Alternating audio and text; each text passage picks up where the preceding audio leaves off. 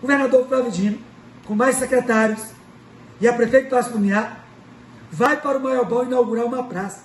Isso é um absurdo.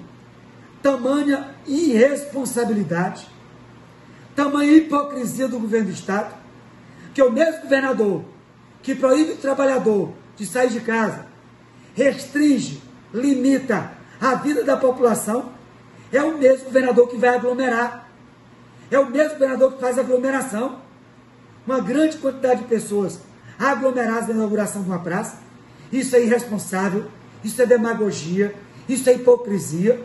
E nós estamos acionando também o Ministério Público, porque demais pares, população que está nos acompanhando, nós ficamos perplexos e perguntando quem vai fiscalizar, quem vai punir os atos irresponsáveis do governador do estado?